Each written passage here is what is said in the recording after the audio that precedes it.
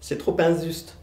Vous connaissez probablement ce personnage de dessin animé créé dans les années 60 qui se plaint tout le temps, Calimero, avec des phrases c'est vraiment trop injuste, c'est toujours sur moi que ça tombe, c'est toujours à moi qu'on s'en prend. Et d'ailleurs, vous connaissez probablement tous quelqu'un dans votre entourage qui régulièrement fait son Calimero. Dans cette nouvelle vidéo, je voudrais vous présenter le processus de victimisation, comment ça fonctionne et surtout comment on peut en sortir.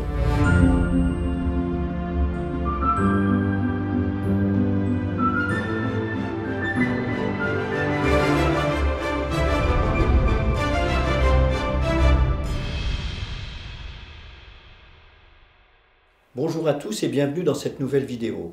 Je suis Patrick Dugois, coach, formateur de coach au sein de l'école de coaching d'HEC depuis plus de 10 ans et je consacre une grande partie de mon temps à promouvoir la résilience à travers cette chaîne. Pour ceux qui nous rejoignent pour la première fois, je vous propose de vous abonner et puis cliquer sur la cloche pour être tenu informé de nos prochains épisodes. Mais au fait, qu'est-ce que la victimisation? C'est un processus psychologique qui va permettre à une personne dans de multiples situations, de multiples événements, de se dédouaner de sentiments intérieurs négatifs, culpabilisants ou stressants. C'est un mécanisme de défense qui va permettre d'apaiser l'état intérieur et de faire que la personne se sente un tout petit peu mieux. Les personnes qui se sentent victimes vont se sentir euh, victimes de leurs proches, de leur entourage, des événements, de multiples situations. Mais d'où vient ce processus? Comme dans la plupart des mécanismes psychologiques, il y a de multiples causes. Ça peut être lié à une estime de soi insuffisante. La personne n'ayant pas conscience de sa valeur ou ayant l'idée d'une valeur insuffisante va se victimiser pour ne pas se trouver confronté à un jugement négatif. Ça peut être lié aussi à un manque de confiance en soi. Et comme je n'ai pas confiance en moi, au fond, je préfère me sentir victime d'une situation plutôt que d'assumer, d'essayer de faire quelque chose dans la situation. Et puis, globalement, très souvent, les personnes qui mobilisent ce processus, qui se plaignent tout le temps, sont des personnes qui, en fait, gèrent à travers ça un traumatisme. C'est une manière pour elles d'apaiser la tension interne que cela représente. C'est une manière pour elles de trouver une sorte d'équilibre et souvent de manière assez maladroite, une manière d'essayer d'attirer l'attention, d'obtenir de l'attention de l'intérieur.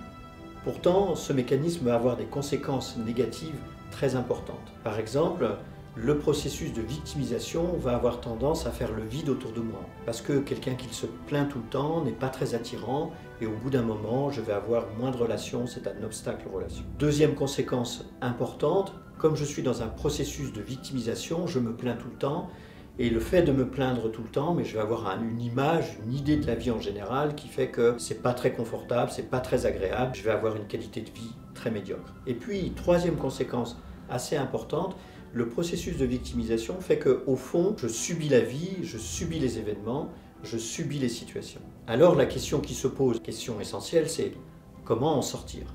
La première chose, comme dans tout processus psychologique, c'est la prise de conscience. La prise de conscience est très importante parce que nous avons tendance à sous-estimer la manière dont nous nous plaignons. Si vous prenez les Français par exemple, les Français sont connus pour se plaindre tout le temps, et pourtant si vous interviewez une personne et que vous lui demandez si elle a le sentiment de se plaindre tout le temps, rarement elle va vous dire qu'elle se plaint. C'est-à-dire que nous n'avons pas conscience de à quel point nous nous plaignons. Alors il existe un outil qui est proposé par certains accompagnants pour prendre conscience d'à quel point je me plains il s'agit simplement de prendre un élastique de couleur qui va servir de bracelet que je vais mettre à mon poignet droit. Et puis pendant une semaine, 15 jours, à chaque fois que je vais m'entendre me plaindre, je vais prendre mon élastique et je vais le changer de côté, je vais le mettre au poignet gauche. Et je vais faire ça sans arrêt.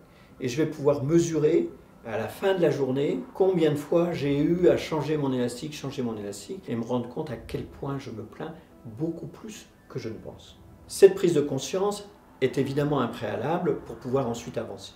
Mais ensuite, pour le processus de victimisation, il existe un antidote. L'antidote, c'est le couple victimisation-responsabilisation. Au fond, la victimisation est un processus de déresponsabilisation. La personne qui se sent victime, qui accuse les autres, c'est une manière pour elle de dire c'est pas de ma faute, c'est de leur faute. Je n'ai pas à faire, c'est aux autres de faire. En ayant ce processus, bien entendu, elle va acheter un peu de confort mais en même temps, elle accepte de ne plus piloter sa vie, elle accepte de subir les événements. D'ailleurs, lorsque j'étais DG d'Emmaüs, nous avions un slogan pour lutter contre la pauvreté qui était de dire ne pas subir, toujours agir. C'est cette idée que la responsabilité, quels que soient les événements que j'ai à vivre, plutôt que de me plaindre, de me poser la question, oui mais qu'est-ce que je peux faire?